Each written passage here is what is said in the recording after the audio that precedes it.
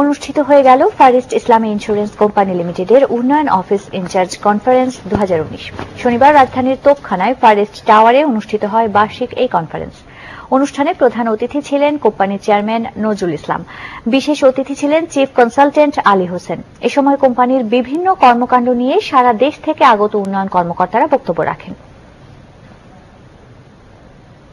রাত দশটার সংবাদে নিচ্ছে আবারও বিরতি